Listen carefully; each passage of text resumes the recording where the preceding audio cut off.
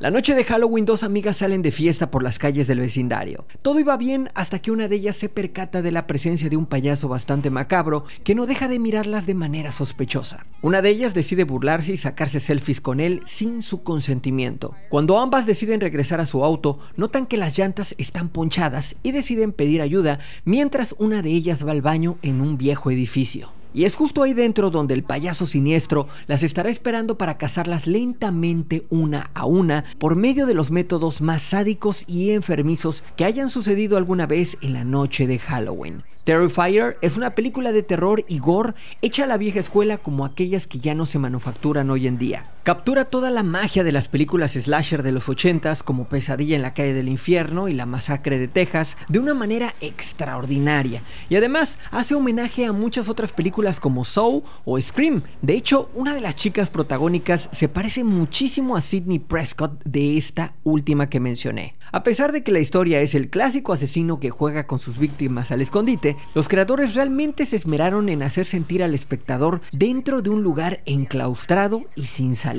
lo suficientemente terrorífica y gore para engancharte y tenerte en tensión durante una hora y media. Además, la banda sonora es impecable, y si eres amante del género, te recordará a muchas películas o series B de los años 80.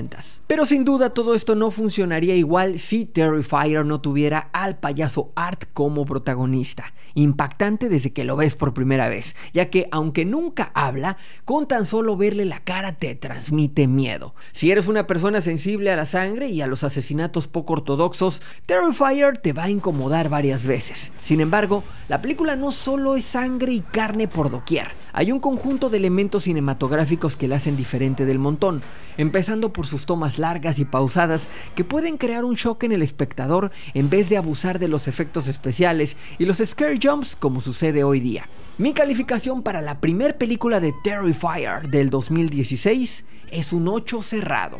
Si te gustó el video, no olvides dejar tu corazón, guardar el video y suscribirte a mi canal Cyber Show. ¿Te gustaría que resuma y reseñe la parte 2?